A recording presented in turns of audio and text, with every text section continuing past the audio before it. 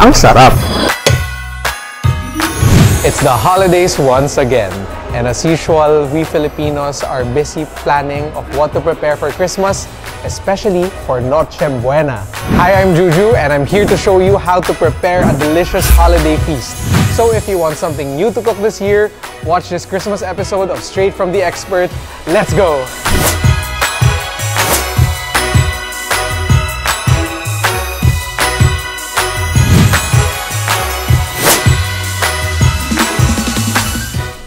Let's get started.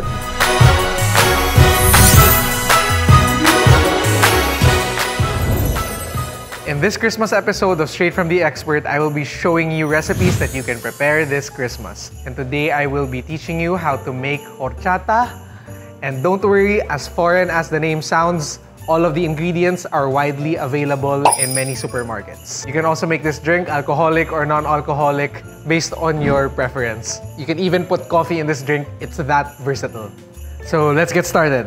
So first step is we are going to be soaking our pre-roasted almonds and rice overnight. I've already pre-toasted these beforehand, but if you were to toast them yourselves, basically what you would do is get your rice, it can be any variety, and almonds and put this in the oven at 180 degrees Celsius for around 15 to 20 minutes until the rice develops this nice brown color and the almonds get nice and extra nutty, if that makes sense. First step, in a container, add in your almonds, add in your rice. Followed by a cinnamon stick. Fresh water. There we go. You want to fill this about halfway through, or at least double the amount of the ingredients that you put in it. Cover this and let this soak overnight. So what soaking overnight will do is it will soften the rice and the almond so that when you blend it, it will turn into sort of like an almond and rice milk for a drink. So, let's put this in the fridge. So now in a blender, we are going to process our almonds and rice. So isama rin natin yung liquid na ginamit natin pang soak. So we want to grind this until for about mga 5 minutes until the ingredients are well pulverized. There we go. At this point, I think okay na siya. Your pitcher, get a strainer, and pass this through a sieve. And gently strain your liquid. Pass it through the sieve multiple times para matanggal niyo yung mga sediment na ganito. Yan. You can add in your condensed milk and your evaporated milk. So, depende rin to kung gaano katamis gusto nyo yung drink nyo. Sobrang tamis niya. But you can add water or in this case, gagamitin ko is milk para mas rich yung ating drink. Timplahan rin natin siya ng vanilla extract as the finishing touch. And let's give it a taste. And see kung anong kailangan. Okay. Mm. Okay, masarap siya. And top it off with more milk. Kaya ako naisip na iserve to bilang isang Christmas dish. Whenever we think of Christmas, ano yung unang parang scent na pumapasok sa isip natin? Kapag inamoy mo yung cinnamon, ah, it reminds you of Christmas. So, lagyan natin ng yellow. And don't worry about this getting watered down kasi medyo matamis nga siya. Now, we can assemble our horchata. So, first, in a glass, we add our ice. Now, we top off our ice with our horchata milk. Siyempre, para medyo maging, may konting, may arte ng konti. Lagyan natin ng whipped cream. Lagyan natin ng cinnamon powder. Yan. Doesn't that look beautiful? Serve it, of course, with a cinnamon stick. May konting aroma ng konti. Gawin natin is sindihan natin. And that, ladies and gentlemen, mga kapuso, this is our horchata perfect for your drinks during your Christmas Noche Buena.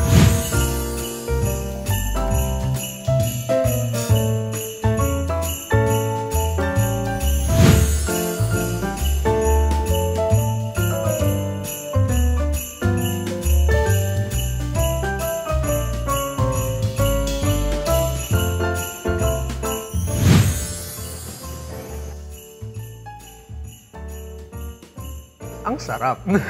a very kid-friendly drink. It's almost like a dessert drink.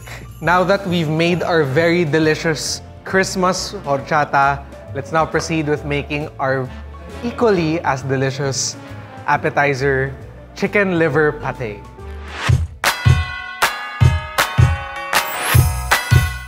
We're always looking for yung mga maliliit na pika-pika. Using these very affordable ingredients, we can make a big batch. Perfect talaga to for your Noche Buena handaan. So let's get cooking.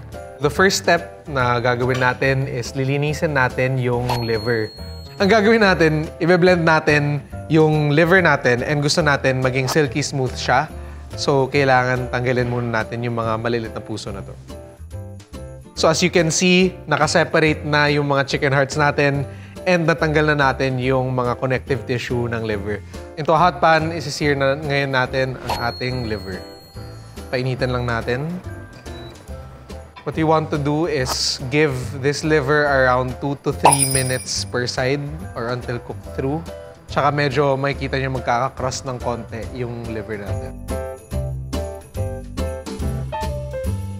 You'll know when the liver is ready. Uh, medyo nag-firm up na siya. Medyo brown na rin yung magkabilaang parte ng liver.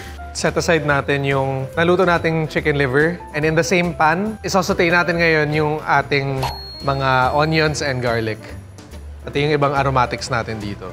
You can totally opt the capers out kung hindi kayo mahilig dito or wala kayong capers sa bahay. So next, we'll be adding back our chicken liver. Season lang natin with salt and pepper. You can adjust this later on kapag nasa blender na siya. And then, maraming black pepper. Pwede natin lagyan ng konting rosemary. Tapos na to, yung liver natin. So now, let's move on to the blender. Directly habang medyo mainit pa siya, ilipat na natin sa blender. That smells so good habang bine-blend siya, mag incorporate tayo ng malamig na butter. So, ang gagawin nito is may culinary term na tinatawag na yung emulsification. So, mas magiging smooth siya.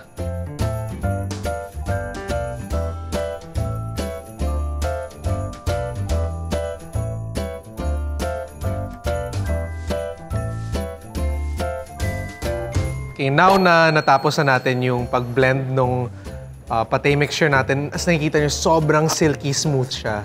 But before we chill it, para mag-settle siya,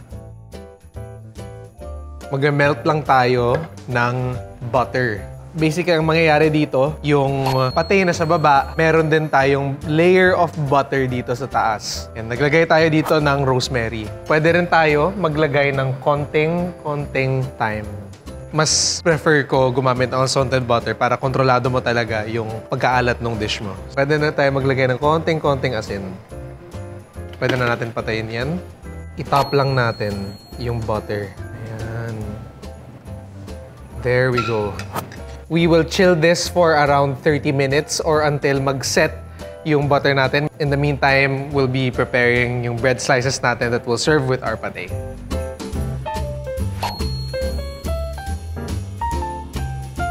Basically, yung ginawa ko is kumuha ko ng yan, mumurahing baget. So, toast lang natin to until golden brown on each side.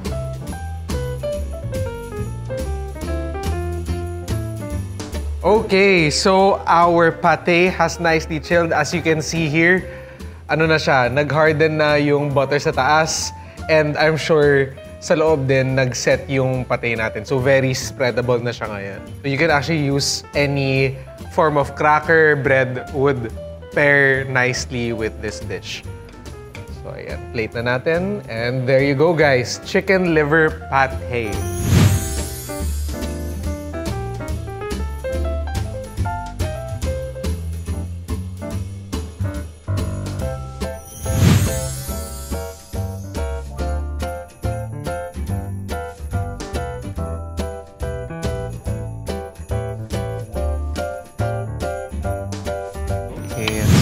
Try. Spread some on your bread. Grabe, napaka-creamy na to. Tikman natin. Mmm. Grabe. Ang sarap. Sobrang, parang hindi na siya naglalasang atay. Para siyang, para kang kumakain ng something very creamy and umami. Hindi ko, ma- hindi ko alam kung paano siya ma-describe. Pero nakagulat kasi sobrang simple lang yung mga ingredients na ginamit natin. Pero tignan mo naman yung output natin. Gusto niyo ng bagong palaman idea, you guys should definitely try this. And not just for your Noche Buena, but also, kunyari, gusto niyo ng baon for work. This one will hit the spot.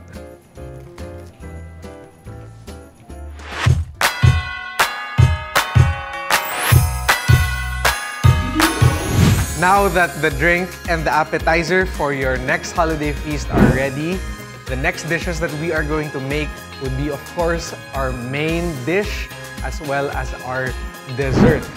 Abangan nyo lahat yan sa next episode natin ng Straight from the Expert Christmas episode.